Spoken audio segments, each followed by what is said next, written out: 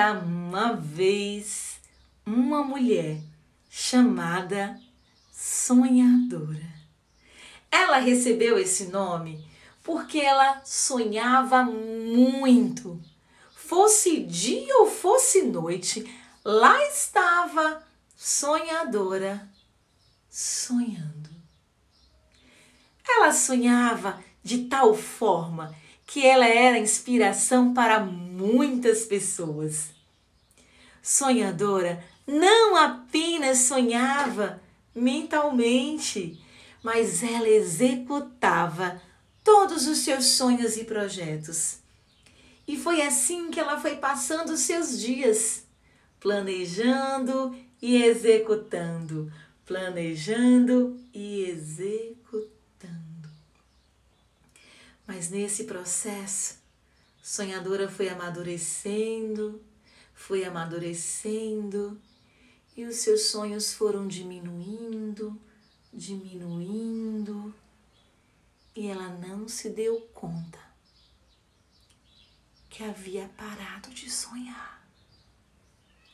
Estava muito fechada em si mesmo, encastelada as ondas da vida submergiram sonhadora de tal forma que ela não percebia que não sonhava mais.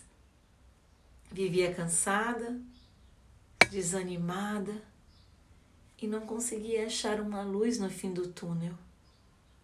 As suas dores eram tão fortes, tão profundas, eram cicatrizes tão dolorosas que estavam represadas dentro de sonhadora.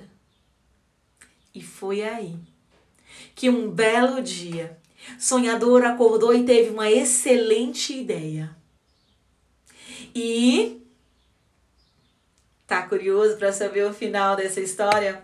Pois bem, vem com a gente participar do workshop Escrita de Si.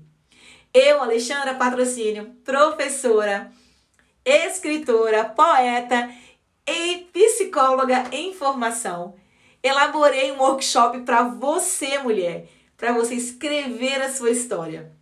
Não importa se você é escritora profissional, se você nunca escreveu, o que importa é se você é mulher e tem uma história para nos contar, nós queremos ouvir.